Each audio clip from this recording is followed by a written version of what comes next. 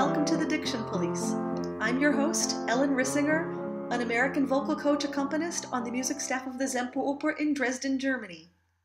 The Diction Police is just starting its ninth year.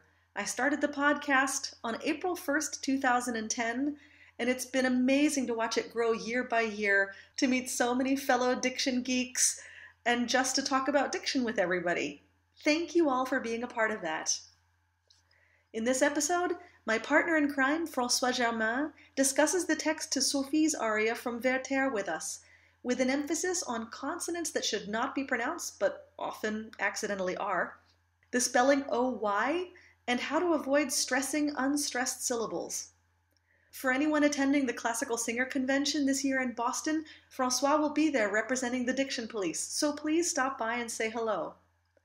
For more information about Francois Germain or for the accompanying PDF of this text, which includes an IPA transcription along with the poetic and word for word translations, please visit dictionpolice.com. You can also follow the Diction Police on Facebook or Twitter at Diction Police.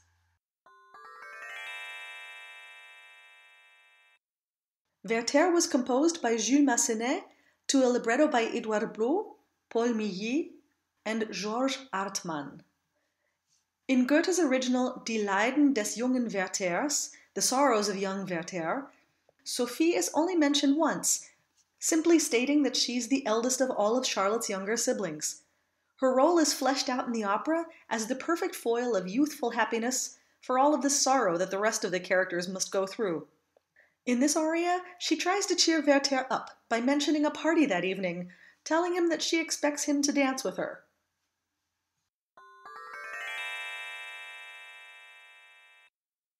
Frères, voyez, voyez le beau bouquet.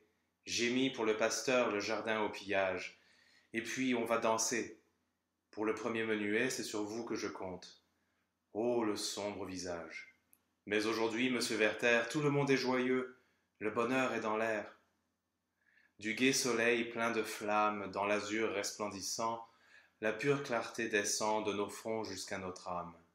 Tout le monde est joyeux. Le bonheur est dans l'air et l'oiseau qui monte aux cieux dans la brise qui soupire est revenu pour nous dire que Dieu permet d'être heureux. Tout le monde est joyeux, le bonheur est dans l'air, tout le monde est heureux. One of the things that I end up coaching all the time is the fact that this OY sound should be comparative to the OI in French, right? Yes, OY is one of those two letter combinations that that actually create a sound that doesn't look at all like what it means. And in, in this case, you're right. OY functions as OI. So we're going to have uh, wa, the W, bright ah phonetically. Which we would recognize later in the aria with the word for bird. Oiseau, where we have OI at the beginning of the word, and that's the same the same sound. The one difference, however, is that with the OY, the Y is uh, also functions still on its own as a J glide in this case. Okay, so we get both. We get the wa, which goes to the bright ah phonetically, W bright ah. Exactly, and then the the Y will also trigger a, a J glide in this case. So we don't have voyer, but voyer with the, the J glide in between. Okay, and we have so many spellings that we always have to learn in French, and one of them is E A U. Yes, that's a good one to know by heart. EAU is going to be a closed O, always. Exactly. Not to be confused with the EUs or the AUs because they can be different than that. Right. So the EUs will either be uh, an open OE, a closed O slash, or a lowercase y. Mm-hmm. So these are complicated, but yeah. that's not what we're talking about here. For once, it, it was simple. The EAU is closed O, and so is the AU. It's mostly closed O. Okay, so just for some examples, we have. Mais aujourd'hui, we have the AU, that's closed O. And for the EU, we have several. Yes, there's, there's always a lot of those in, in the language. So we have tout le monde est joyeux. EU followed by X in this case closes the, the vowel to an O slash. And in the next verse, we have bonheur with the OE uh, instead of the O slash because it's followed by a pronounced consonant. So basically, if it weren't followed by a pronounced consonant, like this X at the end of joyeux, we're basically going to have the closed. Vowel. That's correct. And I believe we have a diction tip about this on the website. We actually do, yeah. We see this later in the aria too. Heureux. So um, heureux is, is interesting because it, it has both both cases uh, within one word. The first EU is actually an OE because it's followed by a pronounced consonant, the R. And the second EU is the O slash because it is followed by um, a silent consonant or, or no sound. It's, it's the final sound in the word. And this is actually another thing that I know we've done a diction tip on, but it's important. What do we need to know about vocalic harmonization in, re- in regards to a word like this? When we say about vocalic harmonization, these words are basically what we're talking about, right? Yeah, so the vocalic harmonization is when you have two pairs of, of vowel sounds where there's an open version and a closed version. Uh, and when you have the open version first, you, you can elect to actually close that open vowel to match the, the second vowel that's closed. So does it become as closed as the second one, or does it just sort of head there? Well, technically, it's harmonizing, so it's it's not equalizing. It, it goes toward that second vowel, but it shouldn't really be the same vowel. So it shouldn't really be heureux. If, if you're going to, to use harmonization, it's it's going to be somewhere in between the the e and the e. It's just it's sort of a way to to make the the sequence of vowels just a little bit smoother sometimes, and uh, in the context it can uh, be helpful. I find that most of the time it's actually not that helpful, and you can really retain the clarity of each individual vowel sound without making it too complicated. Yeah. Well, while we're talking about clarity of vowel sound, one of the things I love about French is the fact that you can often find vowels that, that are based on the same, either the same tongue shape or the same mouth shape, and use that to keep you in the same spot. So we had talked about the phrase tout le monde est joyeux, le bonheur est dans l'air. And in a case like this, we have a lot of vowels that have either an open e mm-hmm. or the open o lips that yes. we can just maintain, right? Well, I think that's the benefit of having a language that has that many vowel sounds. When you have that many sounds, that means that there are also the differences between sounds that are adjacent is, is fairly small. So you're bound to find series of vowels that are closely related. Yeah. And, and, and the, the verse you're, you're talking about here, uh, le bonheur est dans l'air, all these vowels have in common the open e or, or an open shape, yeah. so to speak. But there's a lot of open es actually in here. So, you know, we have the first word, le, with a schwa, which is the inner shape of open e with the lip shape of open o. It's because it's the equivalent of the oe. The oe, exactly. And followed right away by the open o of bonheur. So already we have two vowels that have open o lips. Yeah, so the lips can stay. We just change the tongue shape. That's right. Then we come back to an oe so we just sort of go back and forth. Uh, and that means that the lips still haven't moved. And then we go to an open e. So again, we just, you know. So this time we leave the tongue, we, we change leave the, the lips. tongue, we just switch the lips. Then we have a little outlier with the don, which is the, the least related of those vowels. But then we come right back to an open e with l'air. So you can see, like, even in a short verse like this, where there seems to be a lot of different sounds, they're all part of the same family, so to speak, in one way. They're all related in some way, whether it's through the lip shape or through the, the tongue position. Exactly. There are a few more things in this recitative that are, I find very interesting.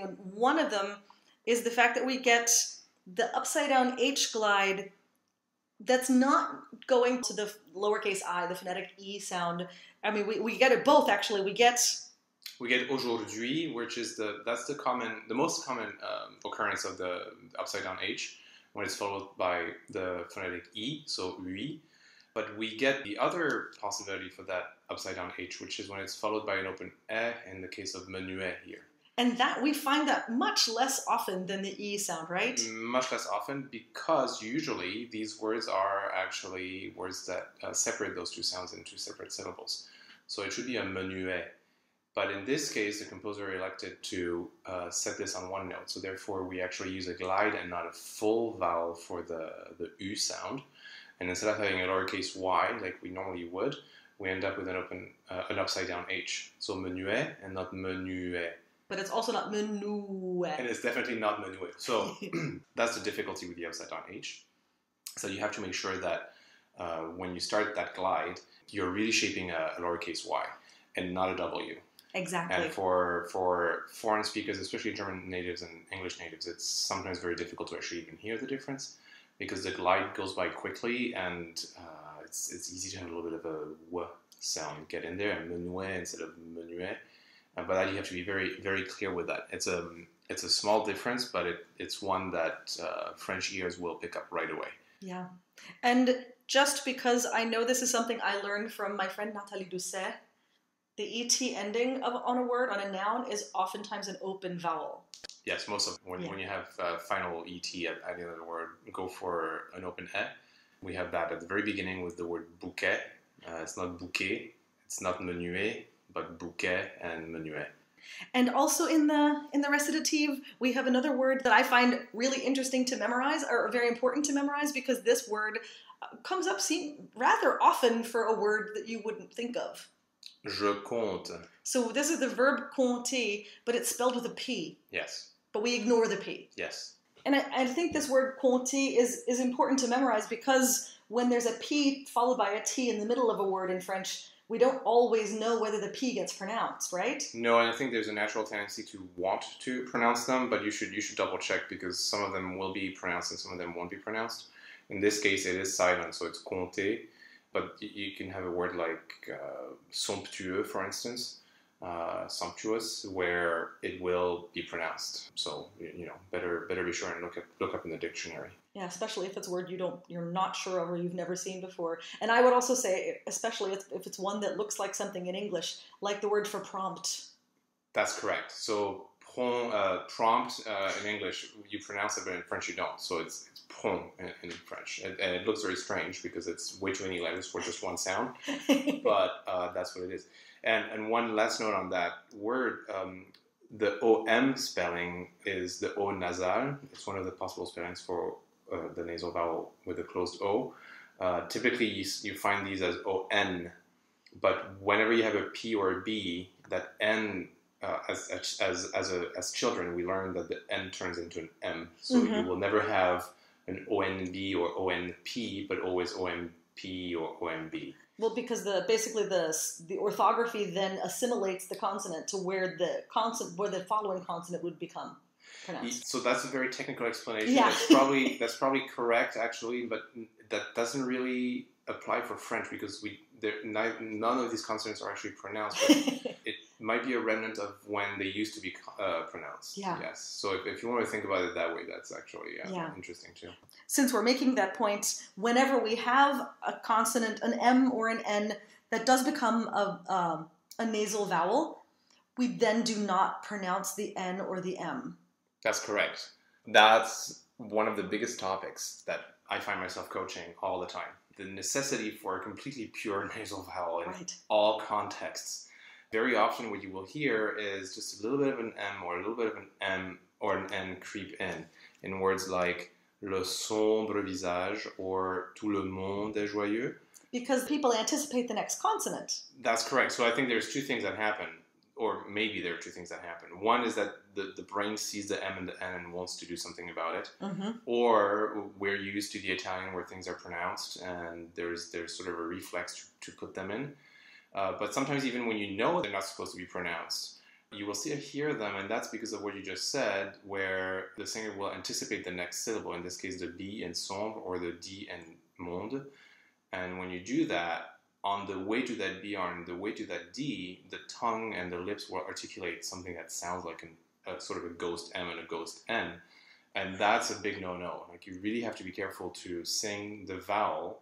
So in this case, the closed O, with not too much nasality, but you have to sing that vowel for the whole length of the note and put the next consonant really at the beginning of the next syllable.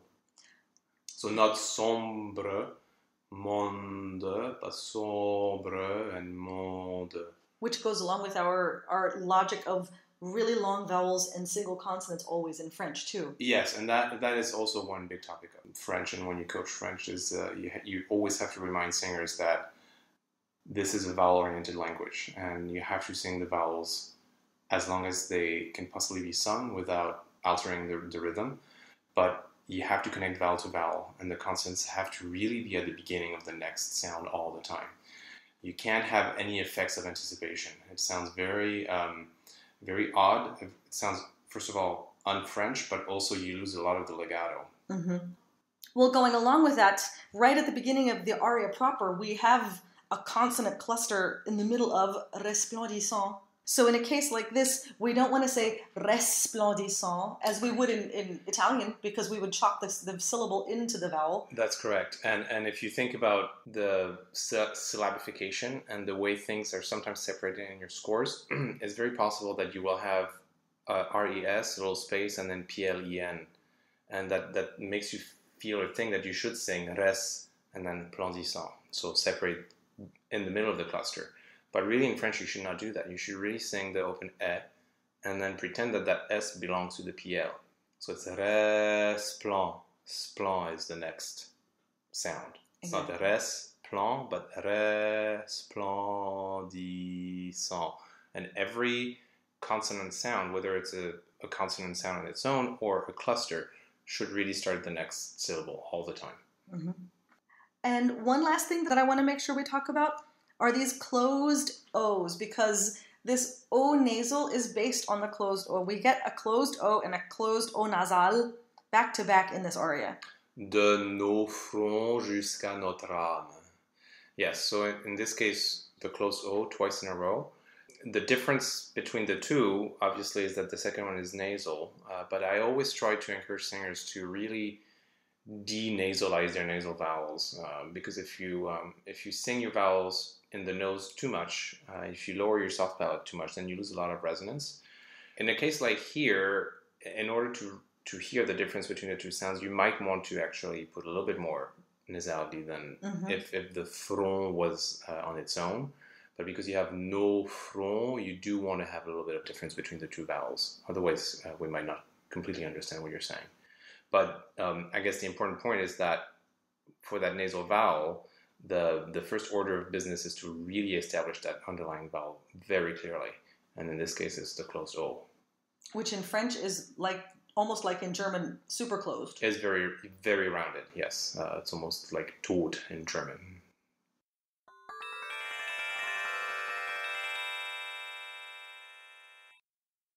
We talked about anticipating consonants and thereby accidentally pronouncing an unpronounced N or M after a nasal vowel.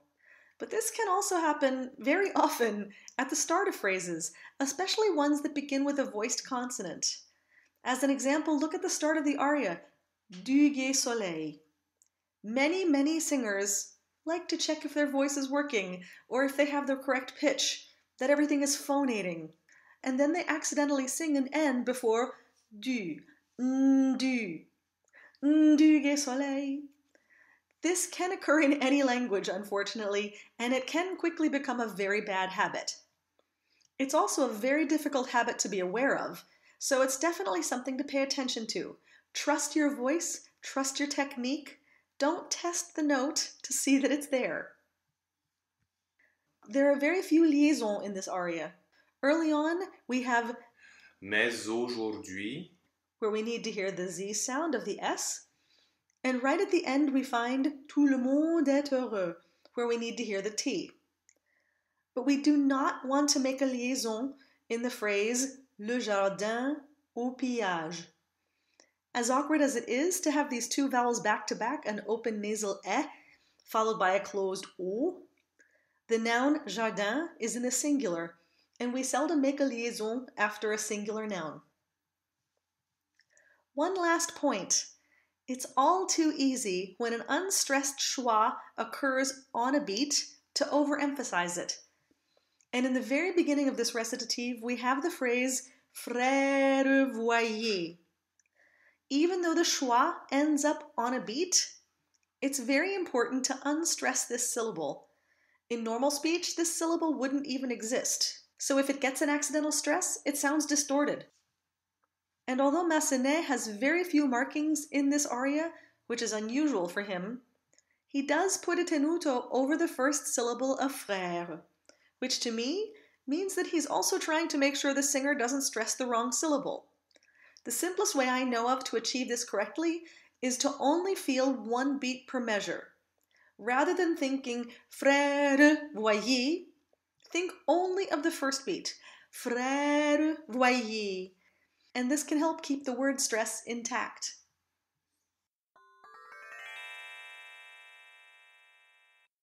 Frère, voyez, voyez le beau bouquet, J'ai mis pour le pasteur le jardin au pillage, et puis on va danser. Pour le premier menuet, c'est sur vous que je compte. Ô le sombre visage. Mais aujourd'hui, monsieur Werther, tout le monde est joyeux, le bonheur est dans l'air. Du gai soleil plein de flammes, dans l'azur resplendissant, la pure clarté descend de nos fronts jusqu'à notre âme. Tout le monde est joyeux, le bonheur est dans l'air, et l'oiseau qui monte aux cieux dans la brise qui soupire est revenu pour nous dire que Dieu permet d'être heureux. Tout le monde est joyeux, le bonheur est dans l'air, tout le monde est heureux.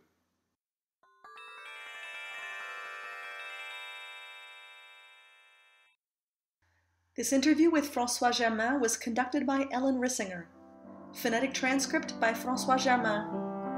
This has been the Diction Police Special Diction Unit, a production of Singing Diction GBR.